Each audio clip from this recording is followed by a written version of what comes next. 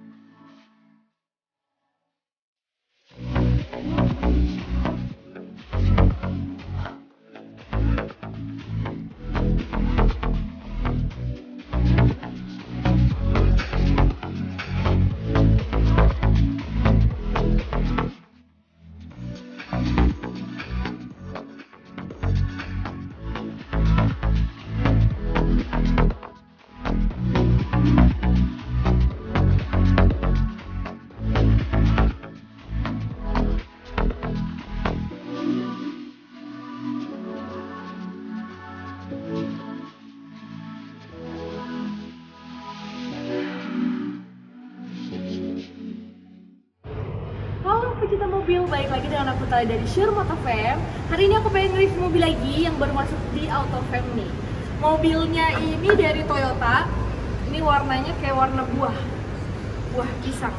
Mobilnya kayak gimana sih? Yuk ikutin. Nah ini dia mobil Toyota Yaris TRD Sportivo 2020 kita mulai bahas dari headlampnya dulu deh. Kita mulai dari headlampnya dulu ya headlampnya ini dia halogen projector. Terus di sini ada lampu sein. Lampu seinnya di sini. Bentuk headlampnya ini kecil tipis sampai ke bodi samping. Tuh. Terus di bawah sini ada lampu LED DRL nih. Fog lampnya dia masih pakai bohlam biasa ya. Nah, untuk grillnya ini dia tuh kayak apa ya? Kayak senyum gitu, kayak Joker menurut aku ya. Nah, jadi tuh grillnya begini. Terus ada aksen warna merah juga. Nih, di sini ada emblem TRD Sportivo. Terus grillnya di sini nih dia kalau dilihat dari jauh ada lekukan-lekukannya. Ini untuk logo Toyotanya grillnya warna hitam dicampur sama chrome gitu. Nah untuk kap mesinnya nih ya. Kap mesinnya ini keren banget. Kayak ada lekukan otot gitu. Jadi tuh terkesan mobil ini tuh sporty banget gitu. Gagah lah ya. Mobil kecil yang gagah menurut aku. Lanjut aja kita ke bagian sampingnya ya. Kita mulai dari bagian ban bannya dia pakai ban Bridgestone terus untuk bahan velgnya dia alloy.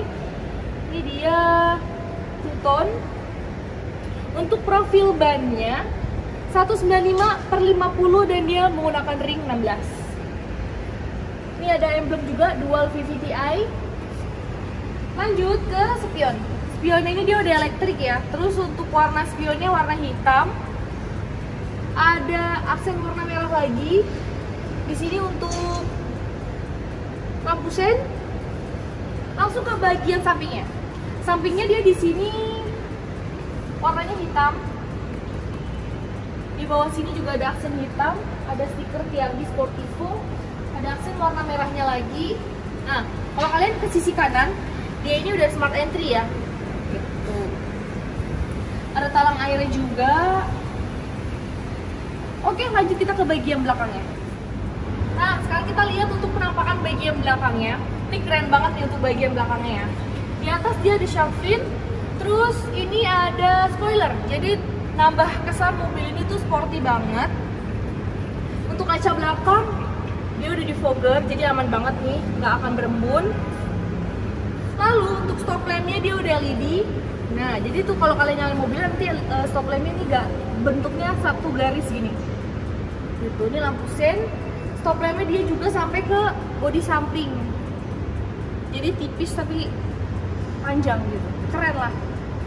Ada emblem TRD Sportivo terus ada aksen juga warna hitam nih.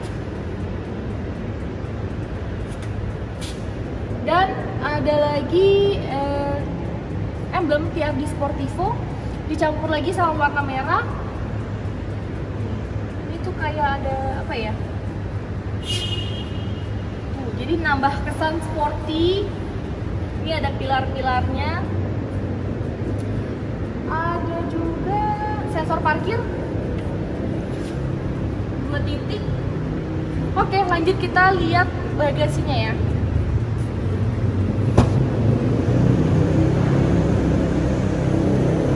Nah.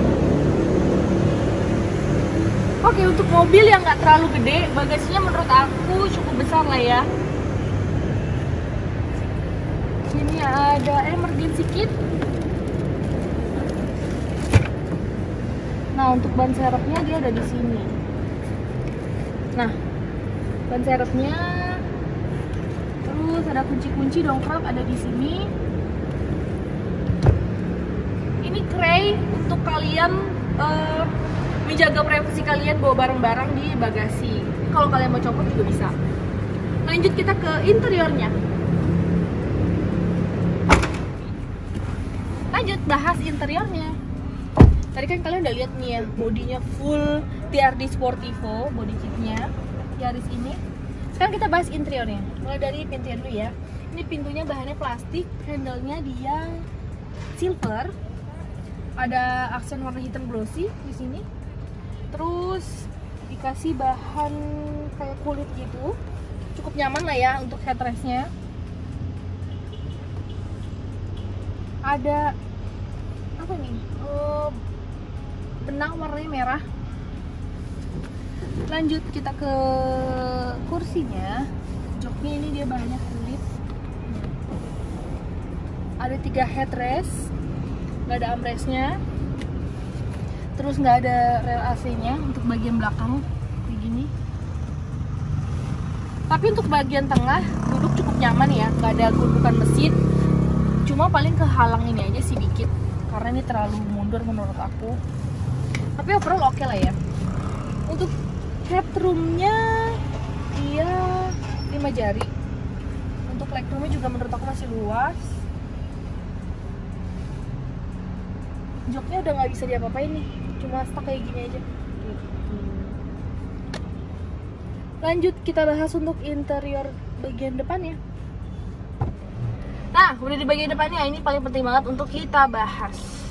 Kurang lebih pintunya sama ya. Ini pengaturan untuk lock unlocknya pengaturan untuk spion. Tuh start engine. Kuncinya tuh kayak gini lock unlock doang. Nah. speedometernya menurut aku sporty. Ini bentuknya beda nih dari biasanya. Kan biasanya bulat kalau nggak dua tiga buletan. Ini enggak dia bulat tiga tetap tapi dia ada aksen ini nih tuh ada kotaknya gitu. Keren banget sih ini. Kilometernya baru 14.000 lanjut. Untuk AC nya dia ini tuh bentuknya kayak headlampnya gitu. Pipih. Di framein sama warna silver nih kanan kiri. Tuh. Jadi tuh bentuknya ya sporty lah ya. Lanjut untuk uh, setirnya. Setirnya bahannya kulit dilapisin sama benang warna merah juga. Di tengah sini ada aksen warna silver. Terus ini untuk MID ini untuk trip.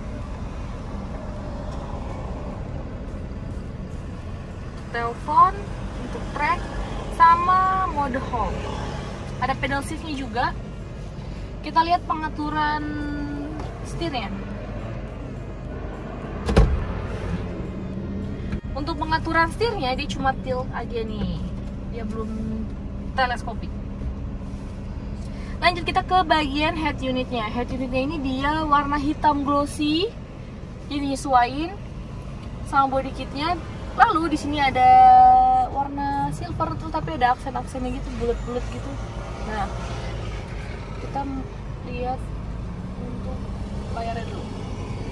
radio USB CD Bluetooth terus aux telepon ini pengaturan Toyota Movie.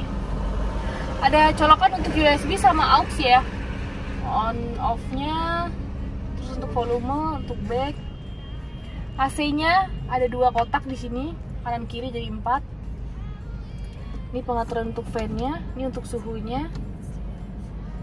Ini juga pengaturan untuk AC on off nya ada dua buah cup holder.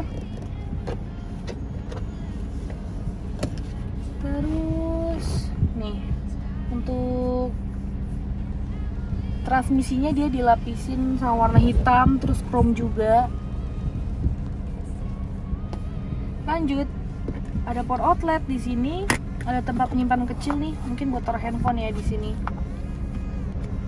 Untuk konsol boxnya dia kecil tapi dalam dilapisin kulit sama e, benang warna merah. Lanjut kita ke bagian atas. Untuk kaca dia udah sliding tapi nggak ada lampunya. Yang kiri juga sama lampu baca. Ini pengaturan untuk lampu bacanya. Spion belakang masih yang biasa. Oke. okay. Oh dia juga ada mode ekonya nih jadi supaya irit mobil ini kalau kalian beli mobil ini dia ada driving mode-nya eco. Untuk harganya ya, overall kan tadi kita udah review mobil ini sebagian besar. Kalau kalian mau nambahin bisa tulis di kolom komentar. Untuk harganya dia di 200 jutaan. Terus kilometer tadi aku bilang kilometernya udah 14.000 2020 untuk pajaknya ini dia sampai bulan Februari 2021 dan pajak per tahunnya ini dia 4, 4 jutaan 4,5 itu. Nah, buat kalian yang mau beli mobil ini, kalian bisa hubungin Talia di nomor bos ini. Nanti editornya ketik di sini. Jangan lupa juga untuk follow Instagram kita. Ada banyak, terutama Instagram Talia. Kalian harus follow karena Talia suka ngupdate foto terbaru yang uh, lagi ready di Autofam gitu. Terus untuk kalian yang mau cari unit yang lain selain Yaris, itu kalian bisa cek di website kita nanti ditulisin juga jangan lupa juga untuk like, comment, share video ini ke teman-teman kalian supaya teman-teman kalian lihat dan beli mobil di Autofam. Jangan lupa like, comment, dan subscribe. Thank you guys.